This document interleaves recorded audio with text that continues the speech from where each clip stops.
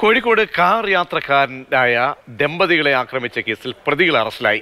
ദമ്പതികളെ അസഭ്യം പറയുകയും കയ്യേറ്റം ചെയ്യുകയും ചെയ്ത മൂന്ന് പേരെയാണ് പോലീസ് പിടികൂടിയത്. രാഹുൽ കെ വി നൽകിയ വിവരങ്ങൾ. രാഹുൽ എന്താണ് ഇതുമായി ബന്ധപ്പെട്ട് കൂടുതൽ കാര്യങ്ങളുള്ളത്?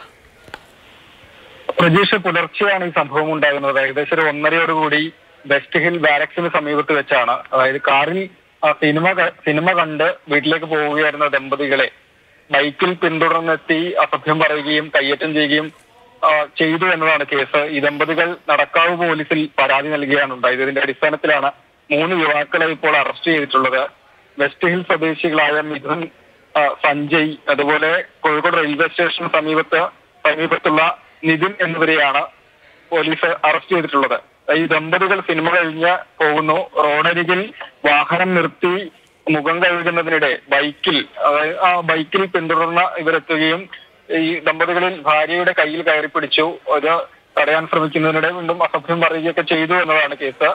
ദമ്പതികൾ ഇവിടെ നിന്ന് രക്ഷപ്പെട്ട് നടക്ക വിഭാഗത്തേക്ക് ഭാഗത്തേക്ക് പോയ സമയത്ത് വീണ്ടും പിന്തുടർന്നു. പോലീസ് സ്റ്റേഷനിലേക്ക് പോകുന്ന സമയത്ത് ഈ കാറിൽ തട്ടിച്ചു എന്ന എന്നതാണ് ഇവർ പരാതിയായി ദമ്പതികൾ പരാതിയായി നൽകുക തുടർന്ന് നടക്കാവ് പോലീസ് കേസെടുത്ത് അന്വേഷണം നടത്തിയാണ് ഈ മൂന്ന് യുവാക്കളെയും അറസ്റ്റ് ചെയ്തിട്ടുള്ളത്. ഒപ്പം ഇവരുടെ വാഹനവും കസ്റ്റഡിയിൽ എടുത്തുവെന്നാണ് പോലീസ് അറിയിച്ചിട്ടുള്ളത്. പ്രജീഷ് ശരി രാഹുലാണ് വിവരങ്ങൾ നൽകിയത്.